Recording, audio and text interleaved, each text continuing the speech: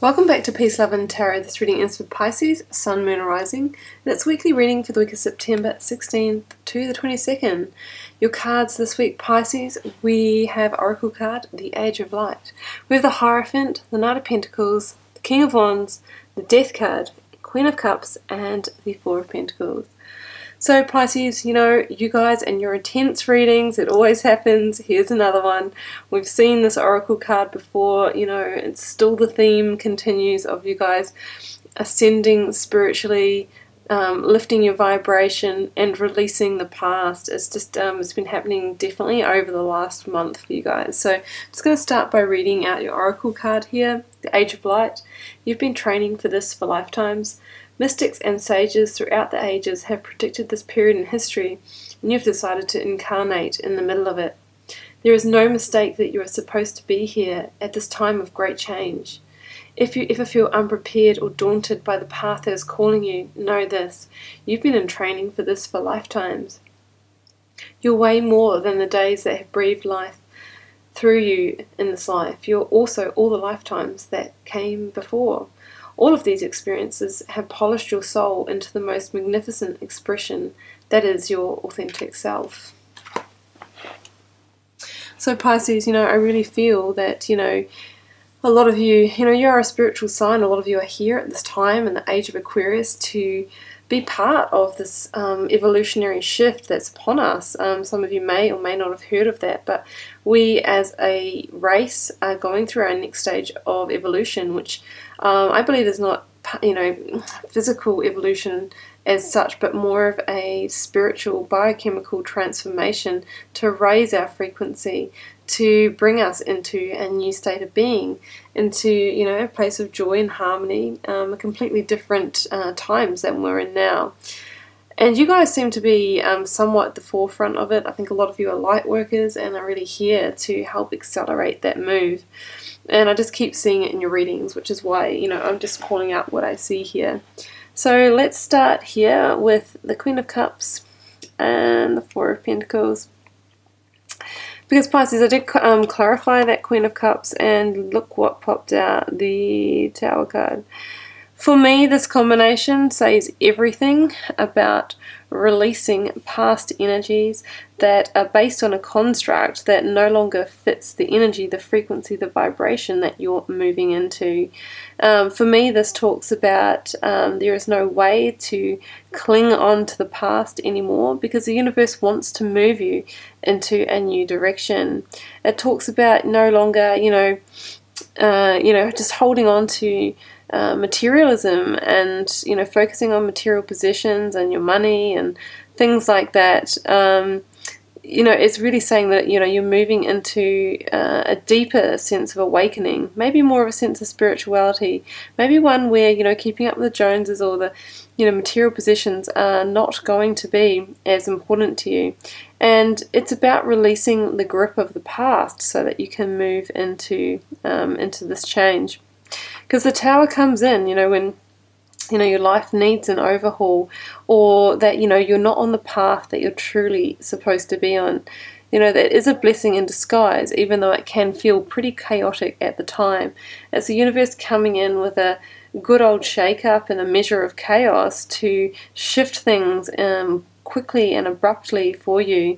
And it can often come in when there's been smaller signs along the way that you either may not have seen because you haven't tuned to it or you've been just caught up in the busyness of life or sometimes we choose to ignore them because change can be painful, change can be hard. Um, and sometimes if we do that long enough then the universe comes in with a tower moment to make sure that this time, you know what, we listen to that change. It brings down it brings down things built on you know, false structures, false constructs, um, you know, situations, relationships that are not serving us. It comes in to reveal truths to us, to make us see things for what they are, so we make deep changes in our lives. Because it says that, you know, what we were previously, um, you know, the situation we were previously involved with wasn't a good fit for us. It was a, you know, a square crown on a, um, sorry, a round crown on a square tower. So that is a tower moment. You know, it can really feel like it, it can feel like a chaotic situation, um, a confrontation, an argument, or it could just be an epiphany, an awakening, seeing a truth that you haven't seen before, something coming to light for you. Because I feel in the past, maybe you know, you're in a situation where it really was about maintaining face, keeping composure. You know, it's what the Queen of Cups in this situation, that's what I'm feeling. That previously you might have just been about having a life that, you know, looked great on the outside and that you had that sense of composure and, you know, everything in its place and, you know, just being what society expected you to be. Um, but I really feel like that is what's coming down at the moment. You're going to be seen in a different way. And that Four of Pentacles says to me, well, look, there's no way to hang on to that past. And if you do, then you do risk devaluing the future because even though it feels chaotic now or in your recent past, you may have already transitioned through that, what you're heading to is far greater. So there's a certain amount of letting go and surrendering that needs to happen. And that's why I think we see the death energy in that central position for you this week. So we have the Death card, um, which came out with the King of Wands, and I clarified that, and I got the Five of Cups. So, you know, the Five of Cups energy, let's talk about that first. The Five of Cups talks about somebody who is, you know, a little bit stuck in the past or focusing on past losses and grief and despair, who is, you know, holding on a little bit like that Four of Pentacles person, um, holding on to the past that can't be changed because the water in, or wine, whatever it is, in these cups has already spilt, it's soaked into the earth. There's no way to get it, to get it back. And when, you know, we focus on something that we can't change, that's when that cloak of negativity or depression can um, can can come in because you know we're really hoping for something that there is no way to change. In that situation, the only way to look is forward. And if this person was just to turn around, they could see there was two beautiful opportunities just waiting right behind. And all along, you know, there's been a bridge back to a, a sanctuary to cross those emotional waters, you know, because water is emotion in the tarot in the tarot deck. So there really has been that um, that pathway to a better place right there. But this person's been too busy focusing on the losses. But I really feel like that is being released this week um, because we have the Death card and the King of Wands. So Death comes in as an energy to clear the slate, to allow something to transpire, to pass, to die, um, that's no longer serving your highest purpose. So we have, you know, the Tower and then we have Death directly after that. So it's a real strong sweeping, a st strong clearing of your slate. You know, uh, if there's nothing um, certain in life, uh, the only thing that is certain is that natural cycle of rebirth and birth and death. It's a very natural thing. So we must let things that are ready to complete complete so that then we can allow those new opportunities to come in. Because death has the promise of, you know, a brighter dawn, you know, right on the horizon for us if we can just surrender to it, to look it into the fa- in the face and allow it to do its work. It also offers real growth in spiritual evolution through going through that cycle. You know, when we start to cling on and say stay stagnant in a situation, that's when we um, limit our growth uh, and don't get to a next life lesson. So I'm really happy to see the King of Wands here because the King of Wands is a strong visionary, you know, strength, power, he's able to see forward, see the future forward direction. You know, he holds the Ace of Wands here. He he understands that um, you know there through having that forward vision, there's real growth and inspiration on the horizon. So this shows me that you are ready to move forward with that kind of fiery action after the Death card has come through and done its work.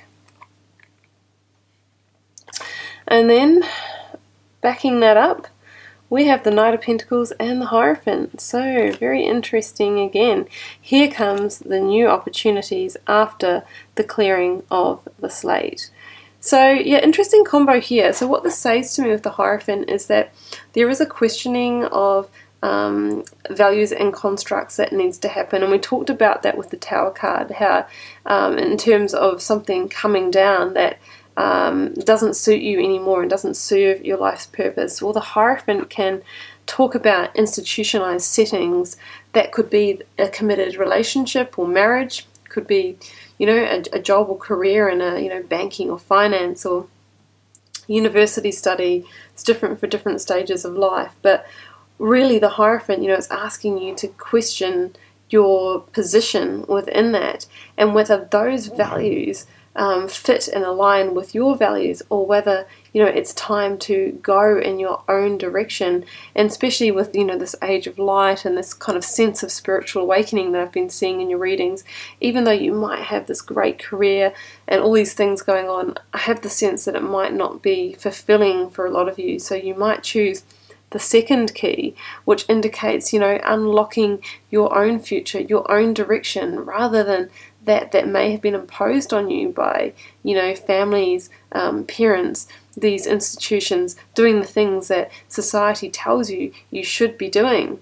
And for you, you know, that tower moment's already saying, look, it's time to reconsider things that are no longer working for you in your life. And when you do that, um, Pisces, that's when the true gifts come in. That's when the true opportunities present themselves. You know, we have the Knight of Pentacles here, who once again holds the Ace of Pentacles. I also think it's interesting that, you know, we have it in the reading with the Four of Pentacles. This is someone who's holding on, who's in a scarcity mindset. Um, and now we see somebody who understands that, you know, by going their own way, by doing things um, that align with their own values, you know, then they can actually, you know, hold this Ace of Pentacles and know that they're going to call more, more in it. There's no hanging on for dear life. There's no sense of scarcity in this card because the Knight of Pentacles knows that he can go and plant more fields. He can reap a new harvest as long as he puts in that methodical, efficient groundwork. So it could be asking you, um, in order to set this new direction for yourself, Pisces, to do some planning and really think about what you want to bring in in your next season and do some preparation for that. But either way, you know, with this Knight of Pentacles, it says that there is offer of um, stability coming in for you, potentially financial resources as well, new opportunities for the way you earn your money, greater stability in relationships, all through allowing that tower to fall, aligning, um, you know, with your true values, through allowing the death card to to sweep away things that don't serve you anymore, to surrender to that energy, to go your own way, to go in your own direction, your own values.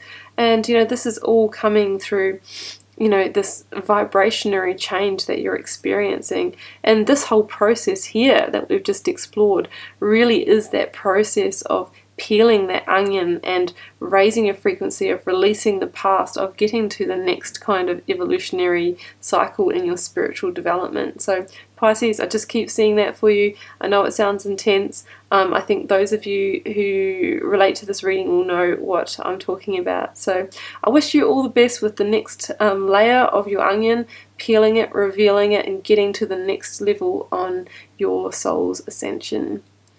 So Pisces, keep in mind it's a general reading. As I said, it won't resonate with all of you. All for those it's meant for. Feel free to leave me a comment. I'd love to know how this is actually playing out in your everyday life. Um, and I will be back here with you for another reading next week.